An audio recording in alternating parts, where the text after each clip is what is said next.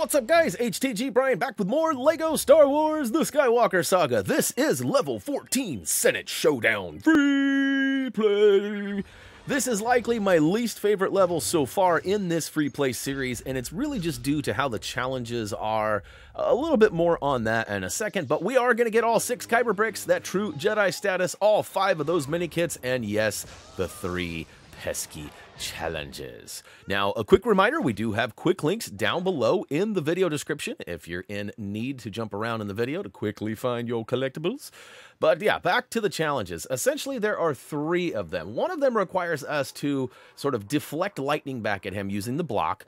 That's a weird one because it only happens sometimes, or so it would seem. Another one is we have to drop a droid onto Palpatine's head. Now, when he does this, he leaves the center area, preventing us from being able to shine the light in his face. Or, if he hasn't spun around with a lightning attack, he won't do it. So anyways, we've got a really wonky method, and it does require us to load into the level three different times. So we're going to start off by getting challenge one, a dazzling display. And of course, all cutscenes and non-essential gameplay has been removed, so we jump right in to the meat and potatoes here, and we're going to deflect, but that's not the challenge. That is actually very different. So what we're going to do is toggle over to our other character, choose a scoundrel, character and then look up at the purple icon which it should trigger this whole cinematic scene where he follows the line down and blasts the power box thus turning that spotlight on and shining a light right on him. Now again, if you drop the droid on him first, he won't be there to shine the light. If you shine the light, he leaves the middle so he won't do the lightning attack nor will you be able to drop the droid on him. So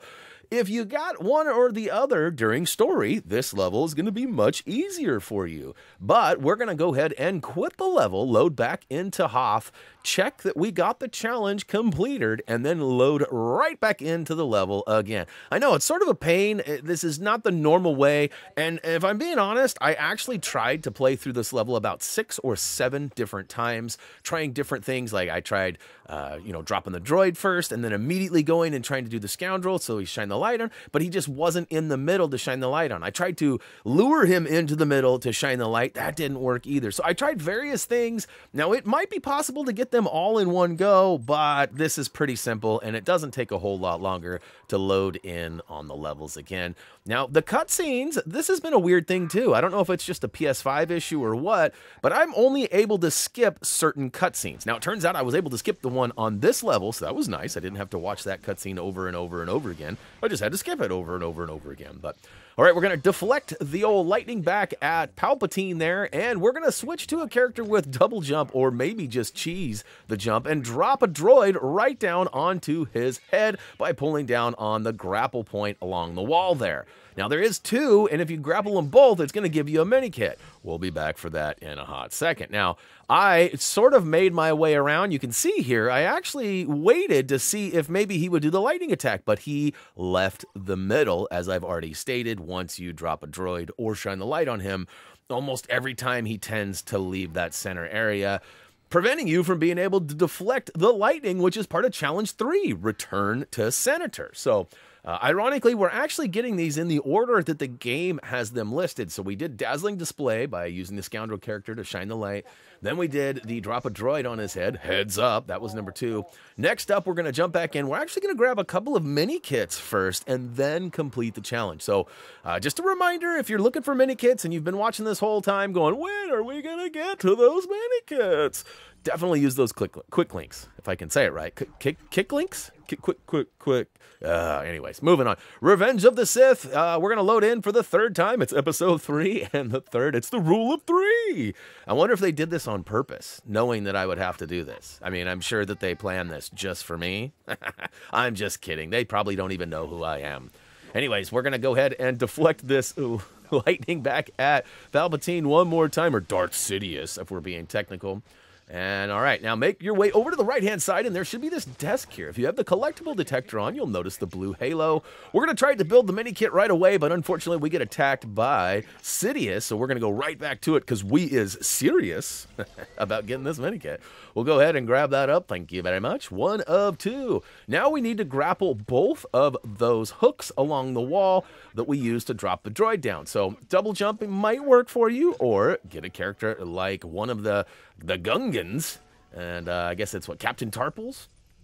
And make your way. Now, I don't think I officially grappled that all the way down. I think I got a little jump happy there, and I didn't complete it. There you can see the droid is dropping down, and um, in this particular case, uh, we get a little lucky because the droid dropped on his head and he stays there. Now, one thing I found too in a couple of my goes was that my secondary character took out the guards and then they would start attacking Palpatine in the middle. And that would sort of uh, divert him or make him do stuff that was different that I, I, you know, I tried to find some sort of uh, consistency with the way this level played, and I did not luck out. I thought for sure I was going to have to replay it all over again after the droid dropped, and and he, but he stayed. He stayed. So here we are to challenge three. Now, basically, we are just playing the game of patience and waiting for him to throw a few attacks. Now, if there is a way to trigger the lightning attack, please drop some comments down below so not only I can refer other people, but maybe other viewers would see your comment as well.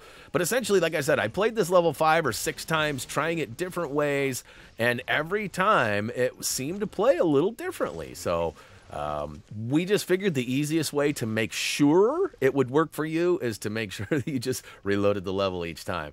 And hopefully when you drop the droid or got that mini kit for pulling both of those hooks, hopefully that didn't require another load because you might have to play it four times. But again, the, the way this game loads and how quick these levels are, it's pretty easy to do it. And although it's sort of a pain, once you get it in your rear view, it'll be, you know, something you don't have to worry about. All right, I think he's getting ready to go ahead and do the spin attack. In fact, I think I triggered. Yeah, see, yeah, he's attacking in the middle. I'm like, what are you doing? So I get up close and try to remove him. And then all of a sudden he starts doing it. So to do this challenge, just spam the block button, which happens to be L2 or left trigger or uh, whatever it is on the Switch. I apologize for not knowing off the top of my head.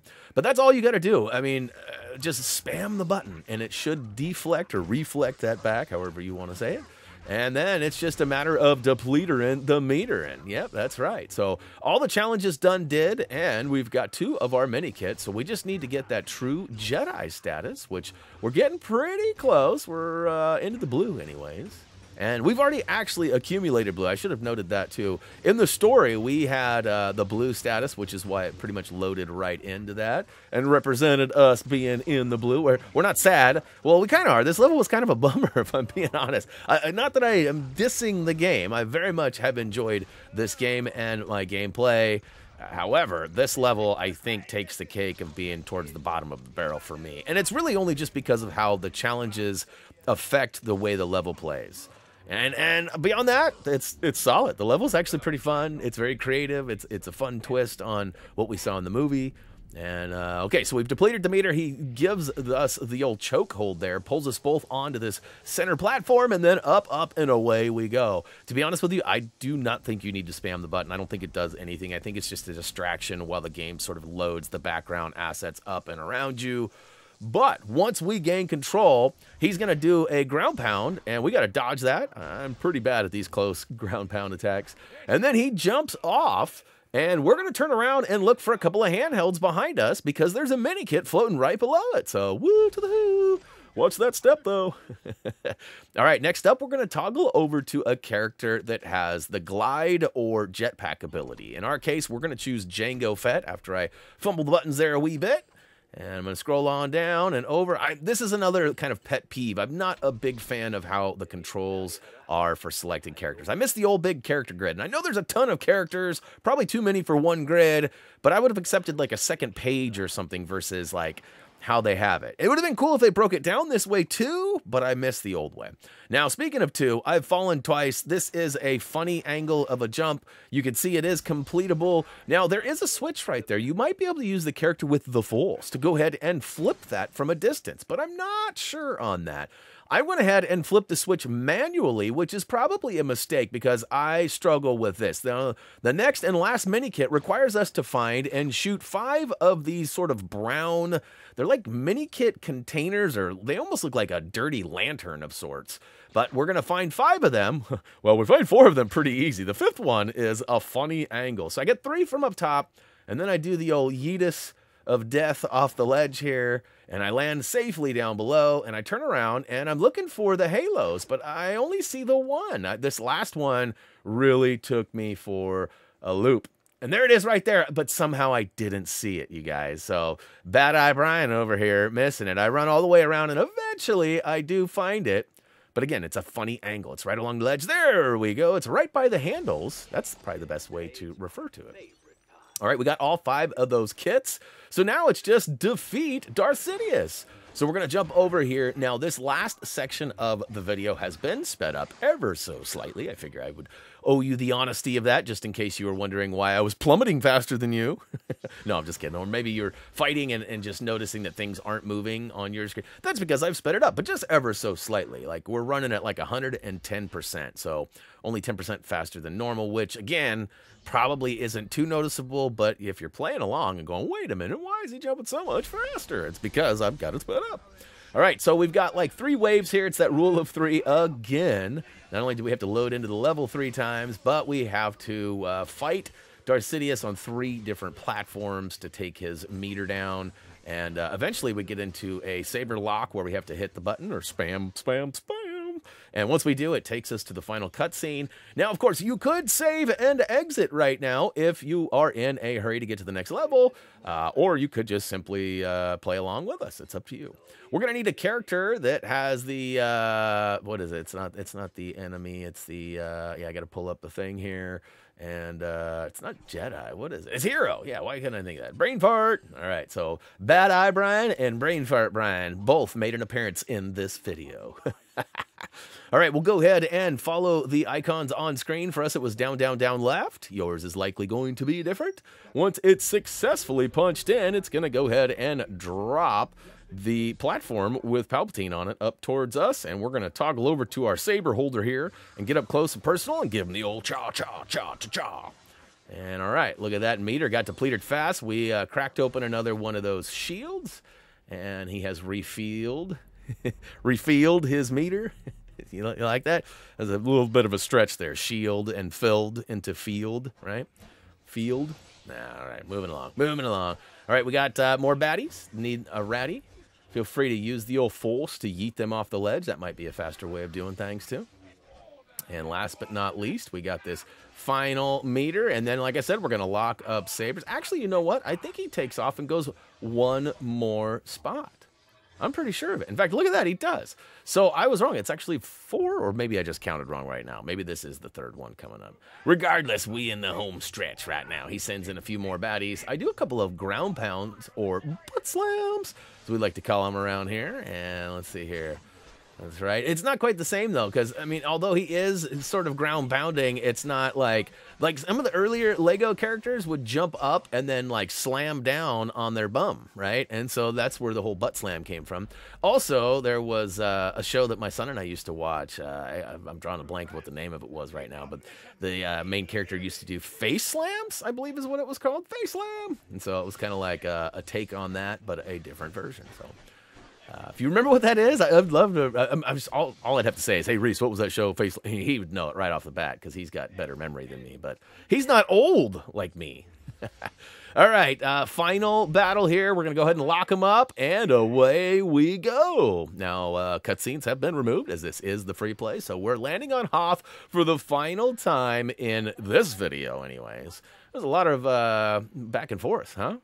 So I apologize for that, but hopefully you found it as easy as I did once I figured it out. I mean, it was a pain, and I didn't want to try to like stress you guys out, and knowing that you guys were likely going to have to return if it didn't work out. Like, right, you drop a droid and maybe he doesn't leave the middle. Maybe you can stay. So there are going to be some situations that work out better for you. And who knows, maybe we'll find out later that I was just bad at game and uh, could have done it differently. who knows? But uh, I feel like this is a pretty efficient way.